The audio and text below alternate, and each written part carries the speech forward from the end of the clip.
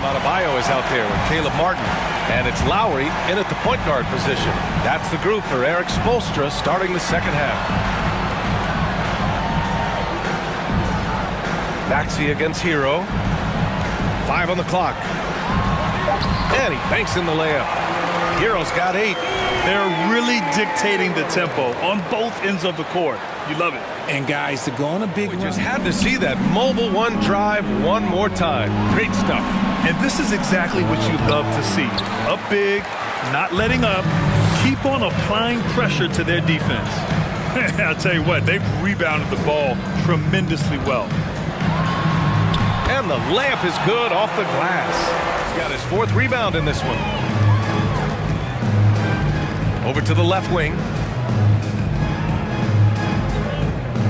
And Grant, as NBA players start to have more of a platform, we still hear those who say, shut up and dribble. What are your thoughts about this? Corner, no good.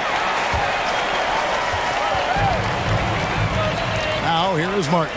He gives his team some nice contributions, averaging a bit over 10 points a game. Antetokounmpo against Herro. For the three.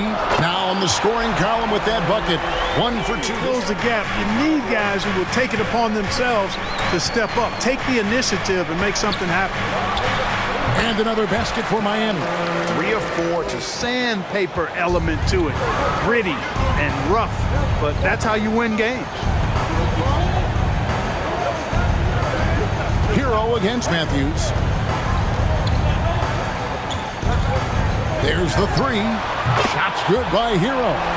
Herro's got 11 points. Miami's gone 3 of 5 from beyond the arc so far tonight. Inside, it's Solomon to Kumbo. From past the arc, Miami grabs the miss.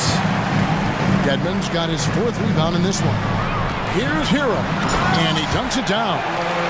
well-rounded effort, and, and they show no signs of letting up. Almost no holes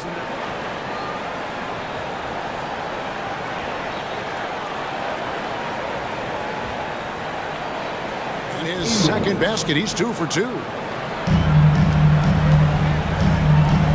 Connaughton against Herro. Good, nice job down low.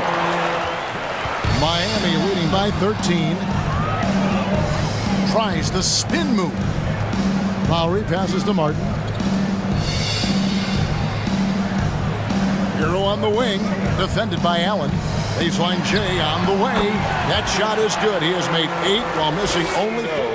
It didn't fall. You know what? That's a confidence shaker for him, though. I mean, that's a shot he expects to make every time. Unlike a lot of perimeter-oriented teams, GA offensively, the Bucks can really play inside out.